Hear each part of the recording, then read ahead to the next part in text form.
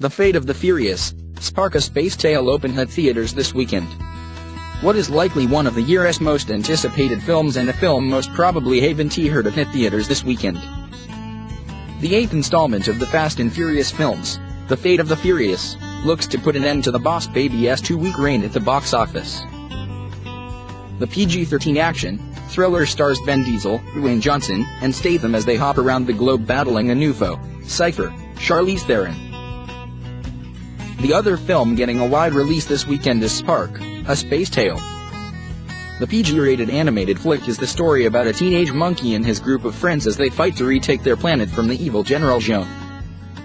Jessica Biel, Hilary Swank, and Patrick Stewart lend their voices to this one. Thanks to series longevity and a star-studded cast, The Fate of the Furious looks well positioned to overtake The Boss Baby as this weekend's number one film at the box office.